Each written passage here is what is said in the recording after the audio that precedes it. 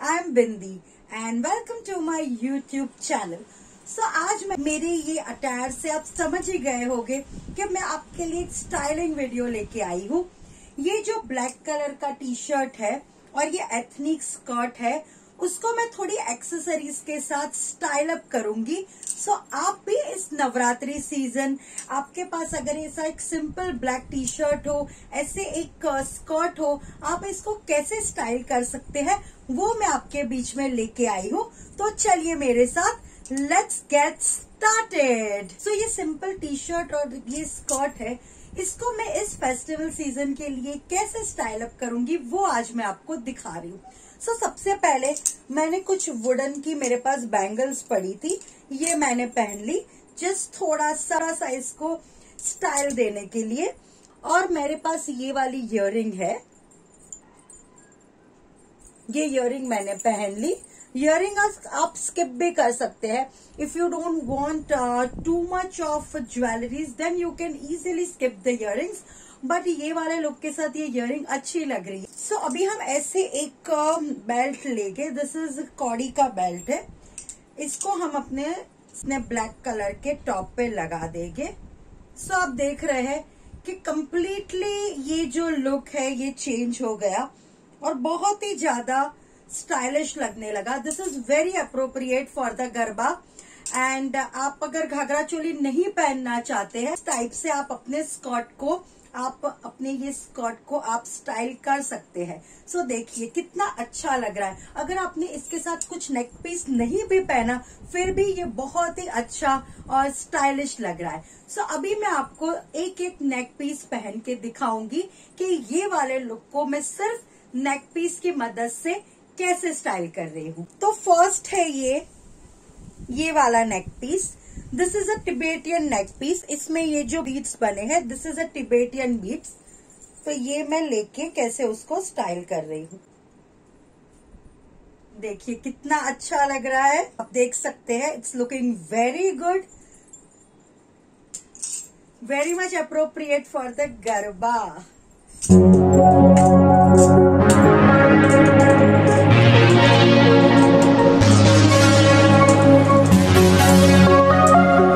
चलिए सो ये नेक पीस के साथ मैंने आपको बता दिया कि यह स्कर्ट कैसा लग रहा है but remember this belt is a game changer अगर आपको पूरे आउटफिट को एनहांस करना है तो ऐसी एक बेल्ट आप ज़रूर पहनिए।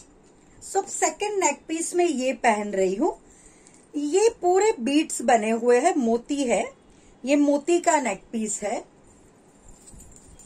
Isn't it looking nice very simple and very nice ये थोड़ा सा आपको सिंपल इस साइड पे आएगा और इसके साथ अगर आपको इयरिंग नहीं पहननी है तो आप इयरिंग ज़रूर स्किप कर सकते हैं।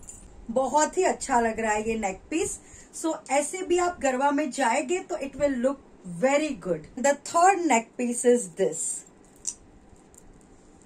ये देखिए this is very much boho kind of a neck piece wow पूरे आउटफिट का शो ही बदल गया। आप देख सकते हैं कि आउटफिट कितना अच्छा लग रहा है ये नेक नेक पीस पहन के। और ये नेक पीस के साथ आप छोटी सी इयरिंग पहनेंगे तो अच्छी लगेगी। Don't wear big earring otherwise वो नेक पीस के साथ मैच हो जाएगी and it will not look good so ऐसे चंकी नेक पीस के साथ आप ऐसे छोटी सी डेलिकेट सी इयरिंग पहनिए। So this will look very nice so see This is looking so nice and it's really, it's complementing this entire festival look. Third neck piece is this. ये भी सारे बीड्स बने हुए हैं कांच के डिफरेंट डिफरेंट कलर्स के। और ये स्कॉट के साथ बहुत ही अच्छा लगेगा। This will complement my skirt skirt में जो ऑरेंज और ब्लैक और वो सारे कलर बने हैं तो वो वैसे ही मैचिंग है, देखिए। कितना अच्छा लग रहा है।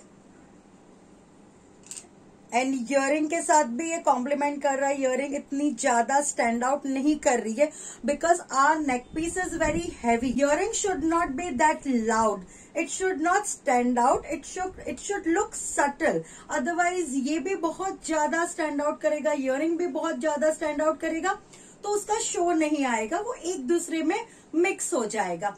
So when you are wearing chunky earring, wear your neck piece very light and subtle. And if you are wearing very uh, heavy uh, neck piece, then wear your earring very light or don't wear earring. Fifth uh, neck piece is this.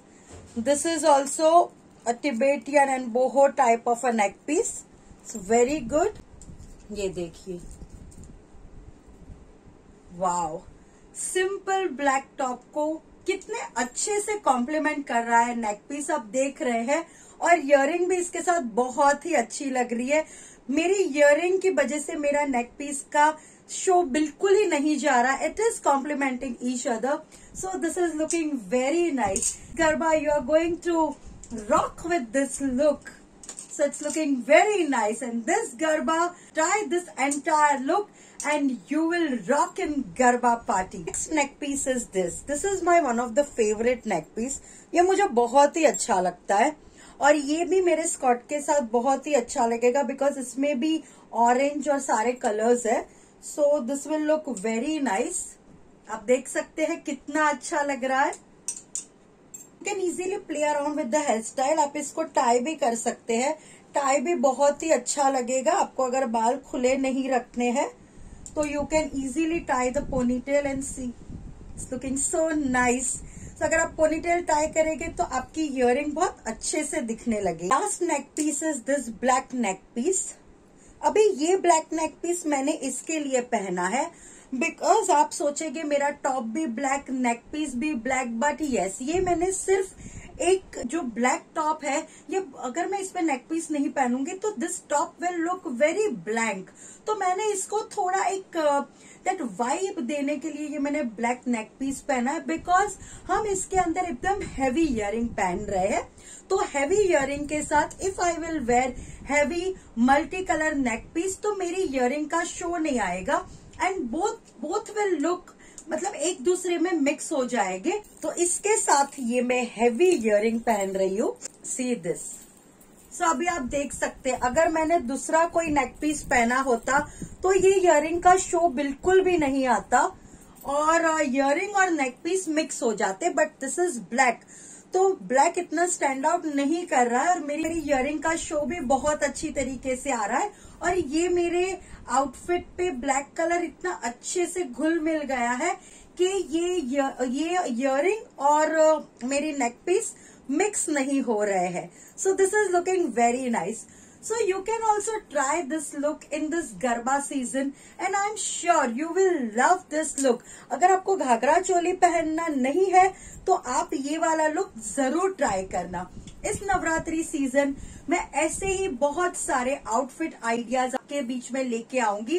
जो आप इस नवरात्रि में enjoy कर सकते हैं और play around कर सकते हैं। अगर आपको घाघरा चोली नहीं भी पहनना है तो मैं आपके लिए ऐसे सारे आउटफिट्स आइडियाज़ लेके आऊँगी, जो आप नवरात्रि के नौ दिन अलग अलग आउटफिट पहन के इंजॉय कर सकते हैं। तो बहुत ही जल्दी आपको मिलती हूँ एक नए नवरात्रि आउटफिट आइडिया के साथ।